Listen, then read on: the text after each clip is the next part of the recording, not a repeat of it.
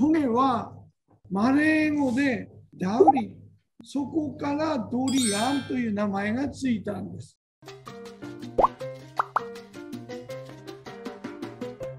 高温でそのままにしておいてもらうとだいたい1週間ぐらいで少し匂いが出てきて1箇所ひびが入って割れてきます。皮を剥いてみます。この割れたところに手を入れて開きました。こんな風に実が入っています。でここから今度は実を取り出します。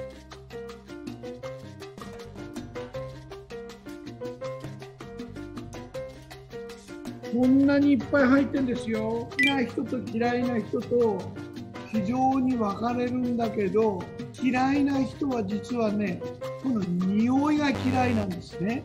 硫黄の中に魚の腐ったのが入ってるみたいな匂いなんです。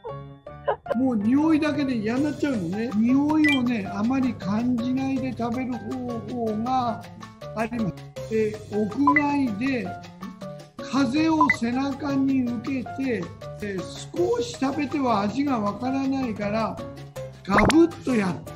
このぐらいを食べてみる。非常に甘みが強くてあのシュークリームのカスタードクリームあるでしょ？あれをもっと美味しくしたみたいなそんな味なんです。もういいねそのぐらいで。はい。そのぐらい、はい、で風えっと風霜ですよ。ね霜そうそう。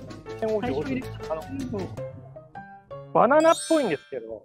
ああそうかもねこんな感じです、ね、まあ売れてたバナナあのもっとすごいことを想像してたんですけど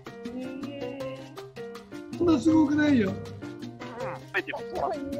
あ、え、え、本当？なんかく僕の口から匂うって言ってます。